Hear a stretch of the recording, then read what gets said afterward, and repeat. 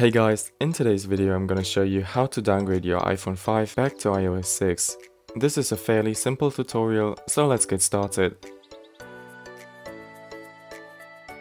First, go to the link in the description and then download Nightshade from GitHub.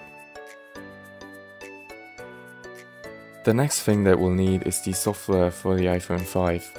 In my case I'm gonna go with iOS 6.1.4 but you can choose whatever you want. Just go to the other link in the description, then look for the iPhone 5 and download the version that you want.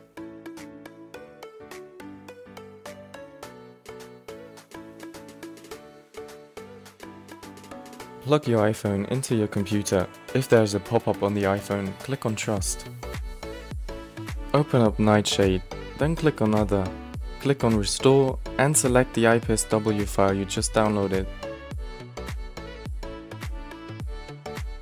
Then click on Start.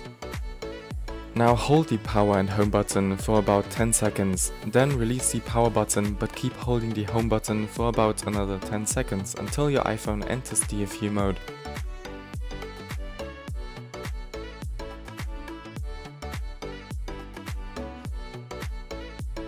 After it's done installing, your iPhone will enter recovery mode. Now click on back, then back again, and then on boot tethered. Then click on start and do the exact same steps again to enter DFU mode.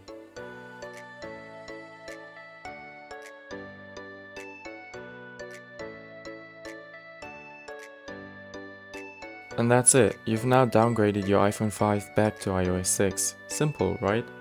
Just one thing to note though is that every time you power down your iPhone, it will boot back up into recovery mode and you'll have to click on the boot tethered option in Nightshade.